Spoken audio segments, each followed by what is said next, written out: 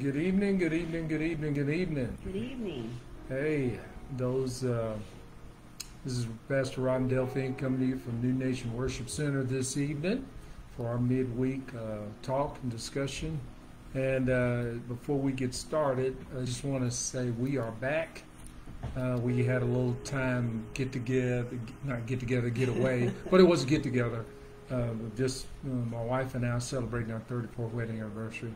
And we also want to um, thank those who um, Thank you. for um, wishing us, you know, a happy uh, wedding anniversary. And we just praise God for the 34 years that He's given us yes. and the love He's given us. And we pray that, you know, just like we had said, that it be an example uh, of God's love and His faithfulness. So we just want to thank you uh, for that. And so we are going to get ready to pray and uh, I hope you'll spend uh, these this time with us uh, as we, as you probably see the title of Freedom from Fear. So Pastor Delphine and I are going to pray, and then we'll get started. Father, we just come before you today, and as we come, we come with thankful hearts, humble hearts, uh, and just in gratitude and thanks for the opportunity to come into your presence, come before the King of Kings and the Lord of Lords, the Creator, the God of the universe the God of all creation, the creator of heaven and earth, and then in Jesus Christ, our Lord, our Savior, our King, our Master. And Lord, we thank you that you're the Prince of Peace. You're a wonderful counselor. You are the mighty God. You're the everlasting God. You're the everlasting Father as well. And Lord, we just thank you that you are the good shepherd, the good shepherd of our souls. So, Lord, as we come, we pray for each and every heart and mind tonight, uh, those who will tune in and those who may tune in later. Lord, we pray that your word speak. Holy Spirit, Yes, speak. Your word speak through us. Yes. Uh, we want your voice to be heard because you said, My sheep hear my voice, and they follow not a stranger. And as we talk about freedom from fear, victory over fear, and what fear is like, Lord, we ask you deliver us Yes. from fear. We know your word says, and we'll talk about it.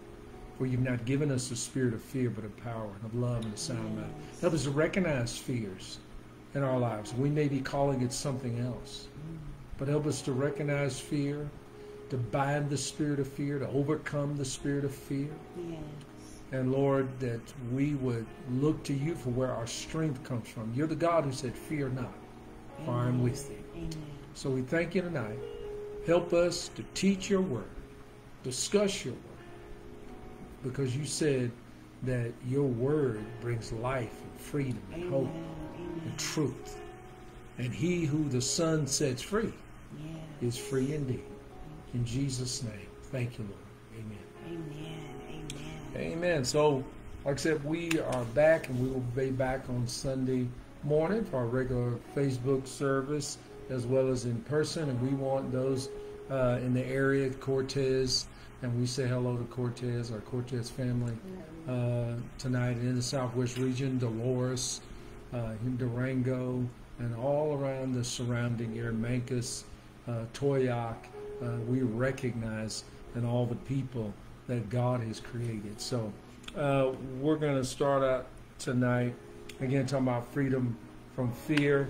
Um, and I may be a little, I'm going to do this because we do these and we just discuss, we look at one another. So I wanted to make sure that was I supposed to get started first? Yeah. Okay, all right.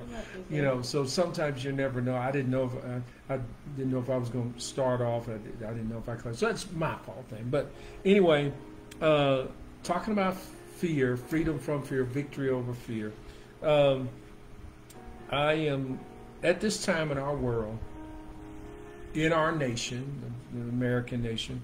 There are many things happening that might be causing us to fear, or, are causing people to fear. There's obviously uh, COVID, and now this outbreak of the uh, the, the Delta variant, and uh, then uh, there's storms going on across the world and around the nation, floods, and then there's fires, and then obviously there's uh, things economically that people have, you know, gas prices, you know, are going out the roof. There's the political things all the way back into 2020 and it's stretched over into uh, 2021. And unfortunately, it's probably going to stretch over into uh, 22. People are uh, fearing, concerning those things. Then from a national and international things going around our planet, I don't know.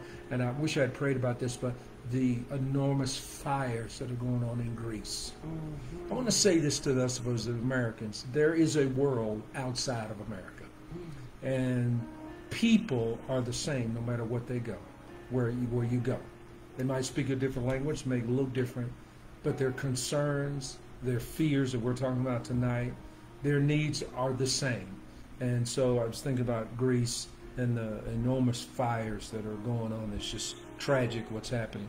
And then, uh, unfortunately to say this, as believers, there are major concerns to be uh, that might be causing fear in the body of Christ. What's happening in the church, you know, as the, the impact of these other things that we might be fearful about. But I want to read something from Luke 21, 25 through 26. Uh, you could also compare this with the, the Olivet Discourse, but Jesus said, again, this is Luke 21, uh, 25 through uh, 26. And there will be signs in the sun, in the moon, and in the stars, and on the earth, listen, distress of nations. With perplexity, the sea and the waves roaring. Now, listen, men's hearts yeah. failing them from fear and the expectation of those things which are coming on the earth, for the powers of the heaven will be shaken. Now, I'm going to give you just definitions of distress and perplexity. Distress means anguish. And, it, and you break anguish down further, it means severe mental or physical pain or suffering. So Jesus is saying, because of these things that are coming on there, notice he said, the expectation. Not necessarily saying legitimate, but this expectation, this mental, emotional fear that something is going to happen. And that means a severe mental, physical pain or suffering. And he said perplexity. And perplexity, another definite uh, word for that is quandary. And it means the inability to deal with or understand something complicated or unaccountable. It means an entangled state. Now I'm going to give an, an example of this, the expectation or this distress. Okay, let's use COVID because it's right now. Okay, there's camps concerning uh, these things, uh, even Christian groups.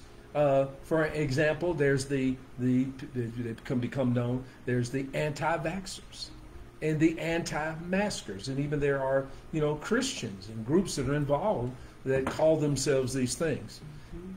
and they call the people who wear masks and the people who are getting the vaccine. They're saying, well, that's a bunch of fear. Mm-hmm. But could it be that the well, I'm not going to wear a mask, I'm not getting the vaccine, could the root of that be fear itself? Because some of the things that have come out concerning the anti vaxxers and anti maskers is fear of government control.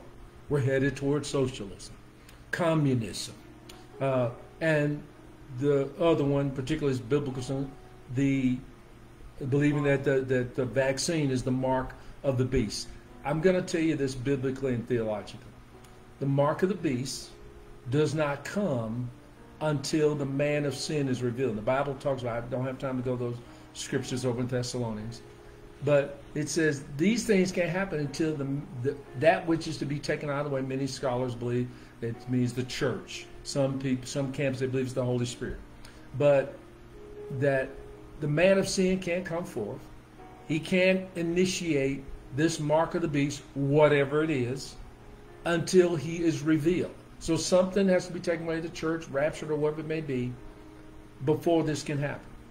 And I was so the thought that maybe the, the, the vaccine or something else is the is is the mark of the beast. Let me tell you something. When God tells us something in the Word, the book of Revelation is not the book of fear.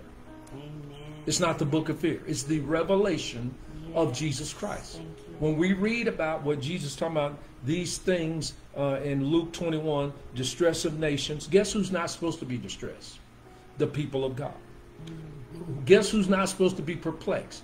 The people of God. But if you kind of look around, if you kind of listen, all of this on whether on each side, whichever way you stand, could the root of this really be fear? Mm-hmm, mm-hmm. Oh, I believe it's the mark of the beast. Oh, they're trying to control. Oh, socialism. Oh, the vaccine's got a chip in it. That's not biblical or godly faith. That is fear. And I'm going to give you a scripture, and I think my wife's going to touch on it too, but this is a very powerful scripture. Two, I'm going to give, there's some more I'm going to give, but I'm going to uh, be brief in this point. But again, Jesus said in Luke that men's hearts will be failing from fear and expectation, or the belief that something is going to happen mm-hmm. coming on the earth. It says, uh, I'm going to read 1 John 4 18. There is no fear in love, Amen. but perfect love cast out fear because fear involves torment. But listen to this. But he or she who fears has not been perfect in love. So, what is the scripture saying? When we fear, we've not been made perfect in love. And that love is God's love.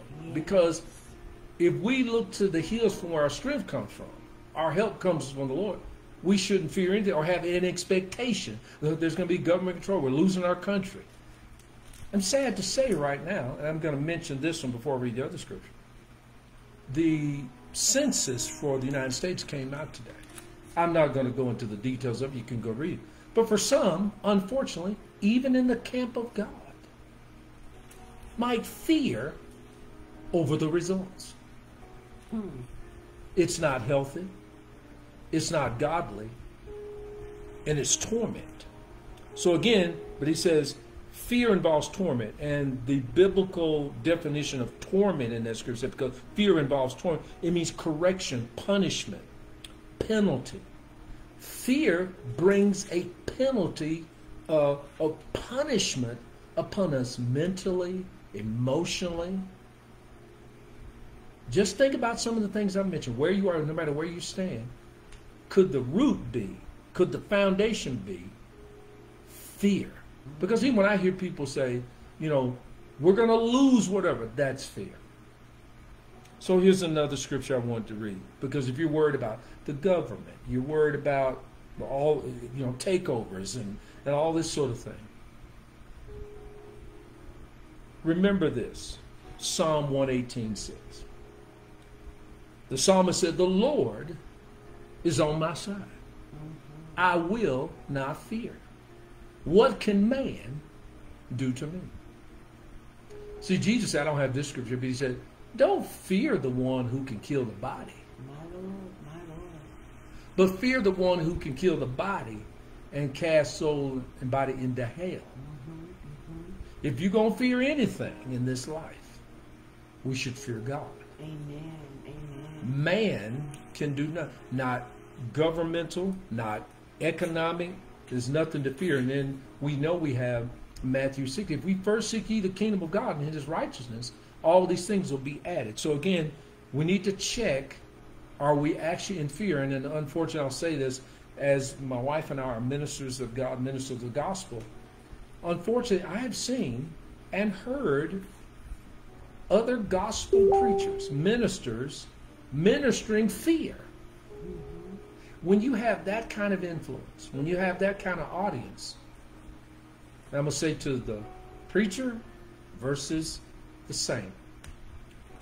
The Bible says test the spirits. Mm-hmm, mm-hmm. Because you could be receiving a spirit of fear from someone who's supposed to be ministering the life of God. Amen. Amen. So, a couple other things. My wife will probably mention this, but Again, we mentioned 2 Timothy 1 7 is these You know, this is not something we just hang on the wall and it looks good embroidered. No, this is the Jesus said we're supposed to live. His word is spirit and life.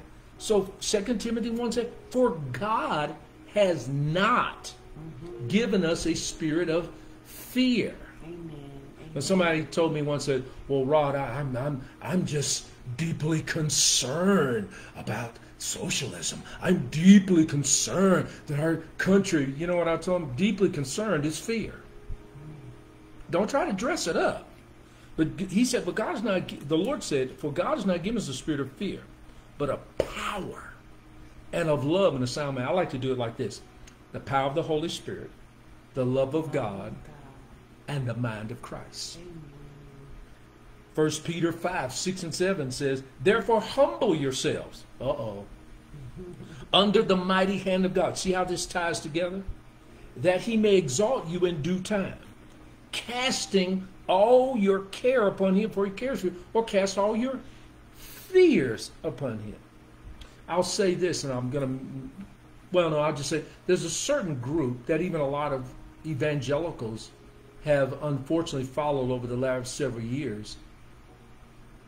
And I read a story that a father feared because of these conspiracy things that the group put out.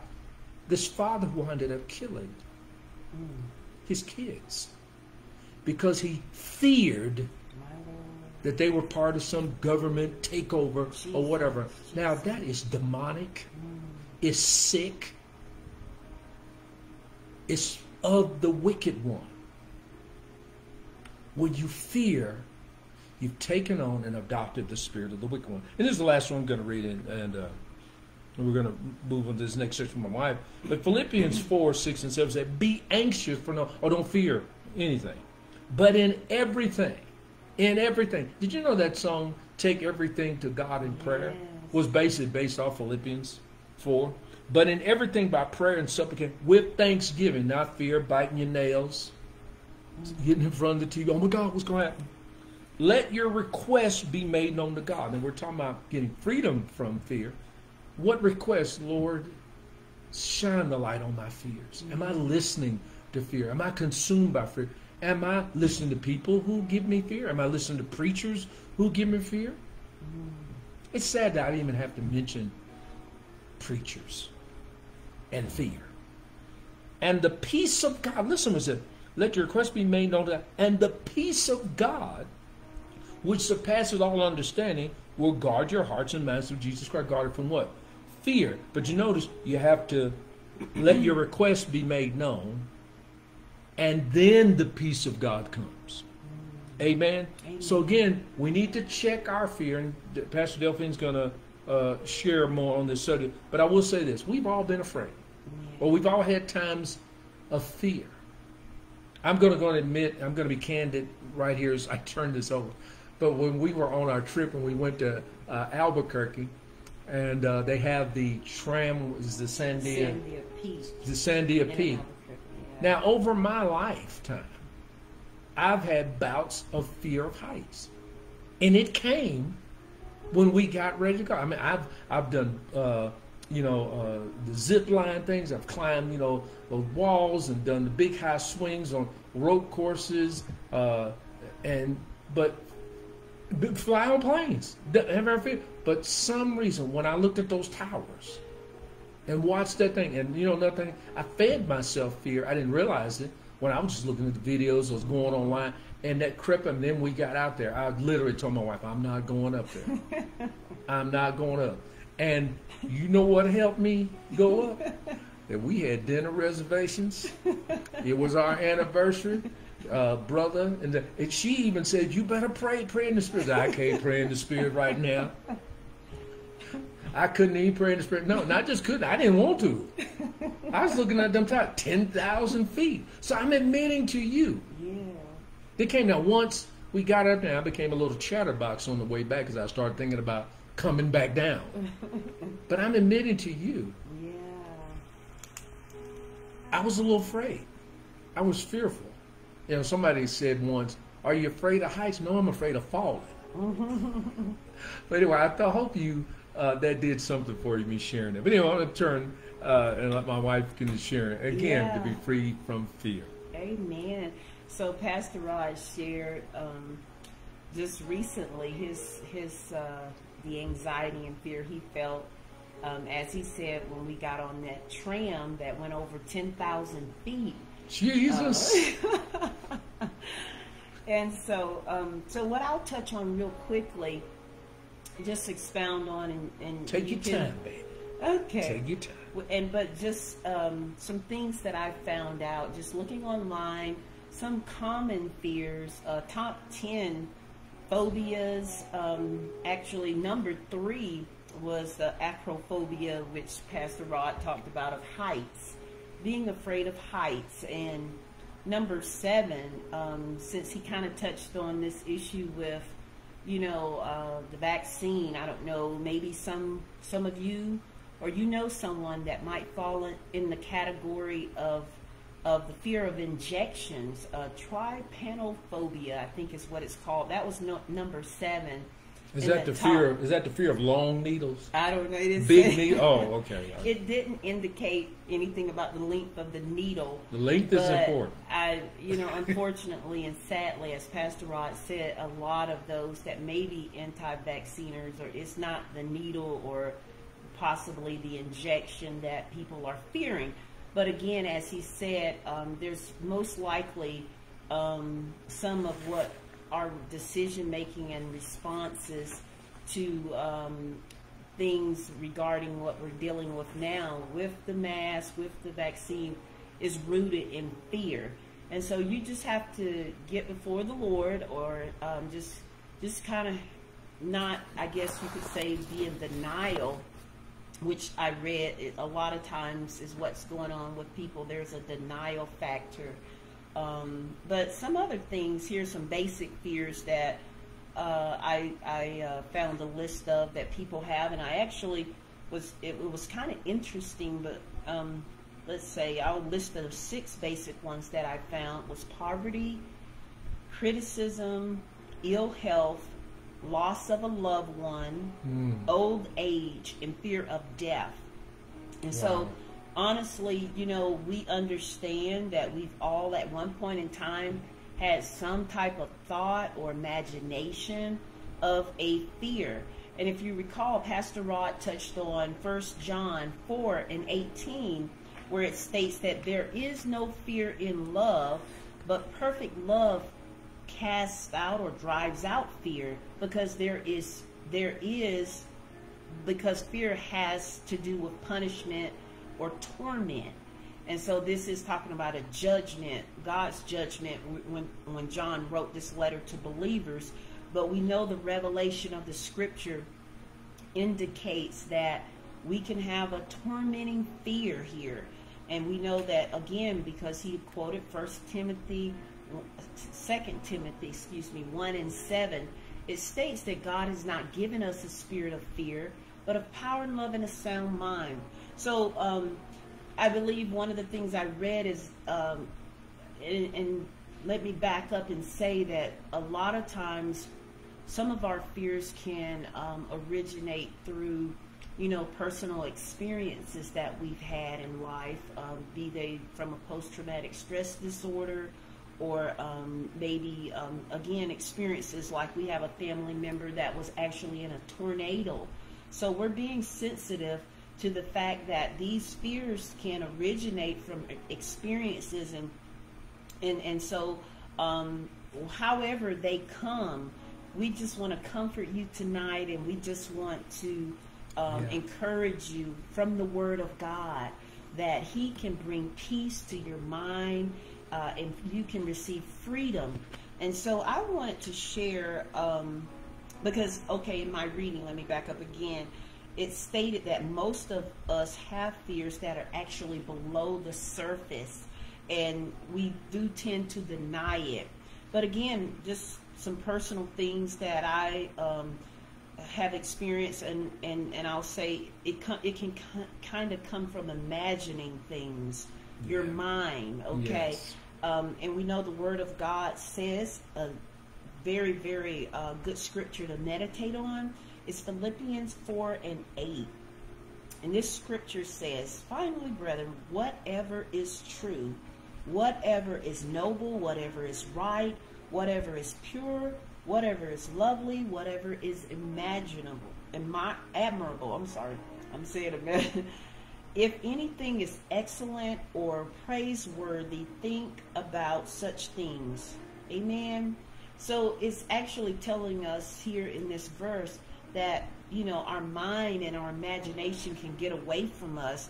And so I I learned from reading a little bit bit in preparation for this talk that in the Hebrew, their language it mentions two types of fear.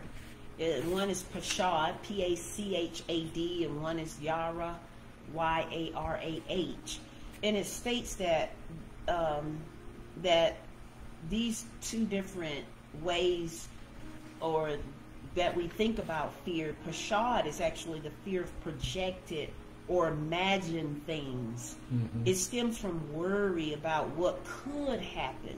Right. And and that which we imagine. So that which we imagine comes from our mind. And so because that comes from our mind, what does the Bible tell us is this to cast down every thought and every yes. imagination Amen. Amen. and bring it in unto the subjection and to the obedience of God's word. So if God's word tells us not to fear, he hasn't given us the spirit of fear. When we state that, faith rises up in us and faith builds up in us because we're meditating on his word. Um, and I'll just share real quickly again, um, and that's, I know in the past has been some areas where I've been, I've I guess struggled or I've had things and like I said, things can come into your mind. And so a lot of the things that come into your mind are imaginations. Yes. And so I'll just share with you real quickly um, some verses that have helped me overcome um, when those type uh, fears come or have come in my life. One is Isaiah 26, 3. This is this verse states that he he, talking about God, he will keep us in perfect peace. He will keep you, me, whose mind is steadfast, meaning stayed on him because we trust in him. Amen. So the the issue of fear is really a trust issue. Yeah. It's a trust issue. Um, I read Philippians 4 8, again, that deals with the mind. Um, Pastor Rod and I both have quoted 2 Timothy 1 and 7. We taught our sons this verse early in their life and repeatedly state this verse. And it helps us also. Um, for God has not given us a spirit of fear, but of power and love and a sound mind. I can't tell you the number of times when I've repeated that verse and how it's helped me. Um, Jude 1 and 20. Uh, I don't know why. Don't ask me. Um, but you know, and Rod and I are traveling, and I see something dead in the road, it just gives me like, this is true. I still don't I understand. She even started praying in the spirit of thinking. That's where I was going with this because Jude 1 and 20 states that pray with the Holy Spirit's help. But um, that's a pray in your building up your faith. Amen. So I believe that uh, you know, when we pray in the Holy Spirit, pray in the Spirit, it builds our faith up. So it's like, it just builds my spirit man up. So Rod always asks me, he said, honey, why are you doing that? Why are you praying in the spirit? I said, I don't know. I just, it's like an icky feeling when it comes to animals and dead stuff. But yeah, anyway. I just throw in and said because I'm thinking, why would you need to pray in it? Because it's dead. I mean, it's dead. It's, it's roadkill. Yeah. So it's been killed. He was the one that needed. He yeah. she was the one that needed to fear. They gone. Yeah, but but, you know. but the biggest one I'll say, and I'm still meditating on, um, especially when COVID first started back in 2020, was Psalm is Psalm 91. Yes, Psalm 91. Psalm 91 it's a big one for me. As I said, I'm still meditating on that psalm and applying it, and it can be applied to so many um, uh, ways we can become fearful and tormented by dangers, or um, as we read, you know, one of the big ones is uh, uh, uh ill health, um, just different things like that. It covers just various things, but understanding that you trust God, okay? And He's with you. And so, real quickly, that's about all I have. But just want you to know that um, we know that fear is real.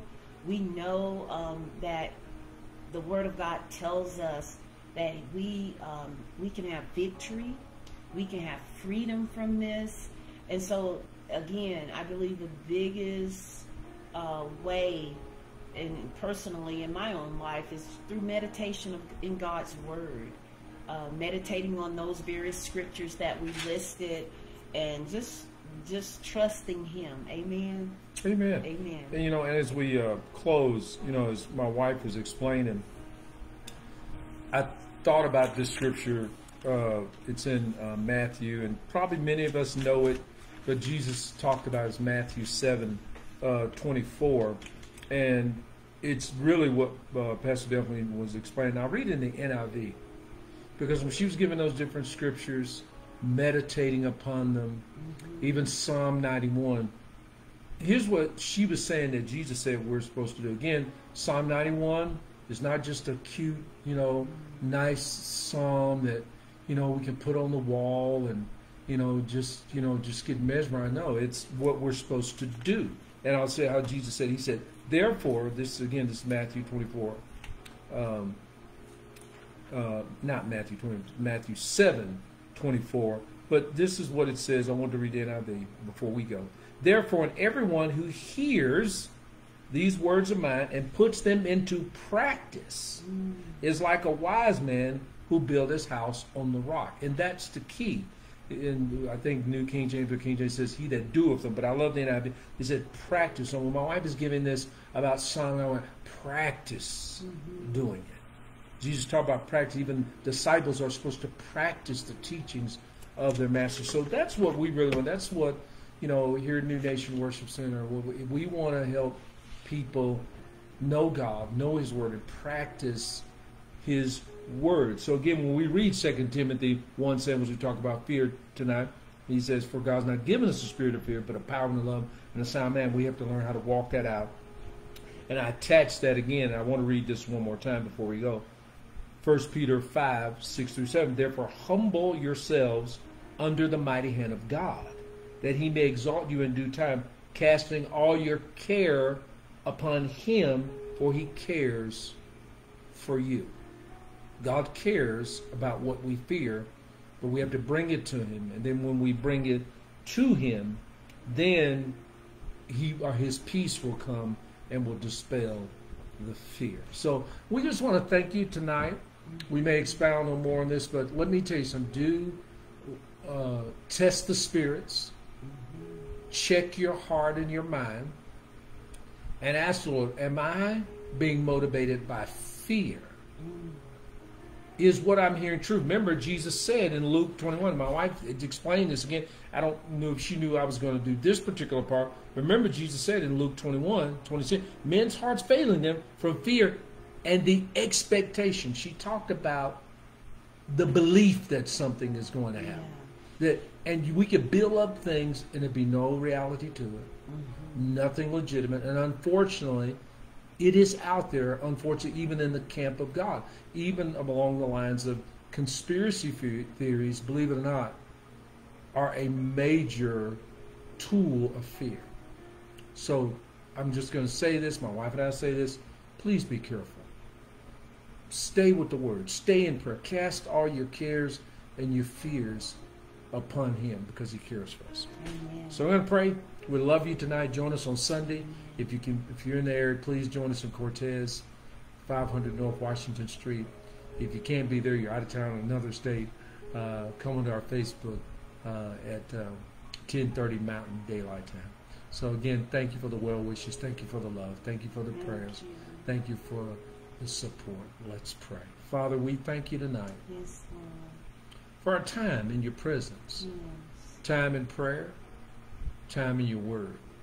Lord, we pray that my wife and I, Pastor Delphina, we ministered some life. Yes, Lord. We ministered light mm-hmm. to come and shine where there may be darkness, where there may be fear, where there may be despondency. Lord, we thank you for your word. Thank you, Lord. Holy Spirit, we ask you to speak to your people and deliver them yes. from the spirit of fear. For you have not given us, God, you've not given us the spirit of fear, but power, the yes. power of the Holy Spirit. Thank you, Lord. Love, which is the love of God. shed abroad in our hearts by the Holy Spirit. And a sound mind you've given us. You say we have the mind of Christ. Yes. The mind of Christ does not fear. So we love you tonight. We look to you where our strength comes from because our help over fear is from you, O God. We thank you. We pray for those who are dealing with some kind of fear tonight, some kind of torment, some kind of worry, or some expectation, or thinking something bad is going to happen, whether it's from a family situation, whether it's on a national level, whether it's uh, uh, finances, whether uh, whatever it may be. We pray with you right now, and we bind the spirit of fear over your life right now. And be delivered and receive the peace and the love of Jesus right now. So, God, we thank you. You, love your people, you love people, and we love people. In Jesus' name, amen. Amen. Thanks again. We love you. Have a good night.